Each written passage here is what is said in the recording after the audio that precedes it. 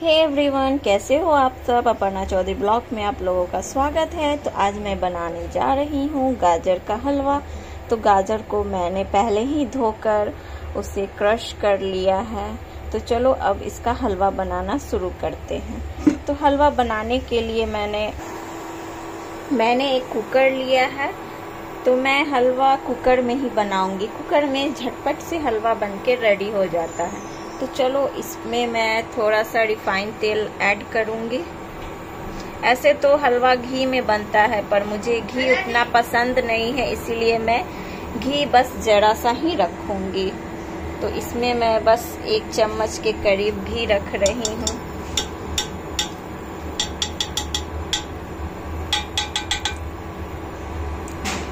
और इसे थोड़ा मैं गर्म होने दूँगी।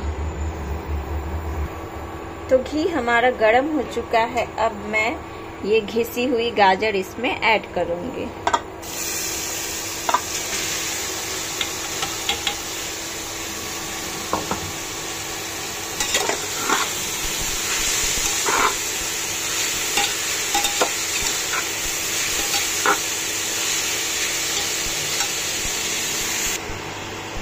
गाजर को थोड़ी थोड़ी देर के बाद इसे चलाते रहना है। तो देखिए फ्रेंड्स मेरा गाजर भुन रहा है और भुन जाएगा तो उसके बाद मैं इसमें दूध ऐड करूँगी।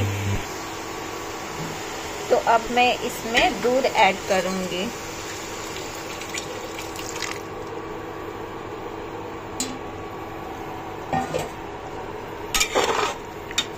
और मैं इसे दूध में ही पकाऊँगी। बहुत सारे लोग पहले इसे गाजर को पानी में बॉईल करते हैं, उसके बाद दूध में पकाते हैं। पर इससे स्वाद उसका उतना अच्छा नहीं आता है। तो अगर आपको गाजर का टेस्टी हलवा खाना है तो आप इसे दूध में ही पकाएँ। और मैं इस हलवे को एकदम झटपट में बनाने जा रही हूँ तो मैं इसी में साथ में ही चीनी मिक्स कर लूँगी।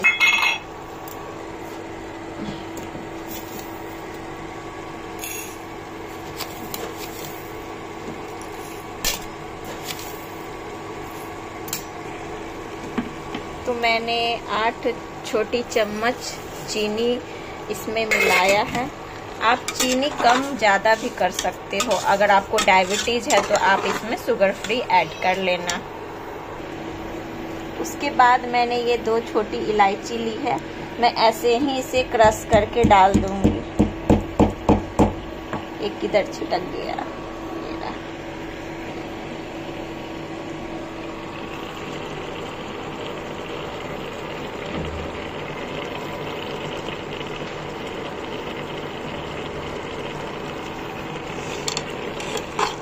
और इसे मीडियम टू लो फ्लेम पे इसे मैं 10 मिनट तक कुक करूँगी।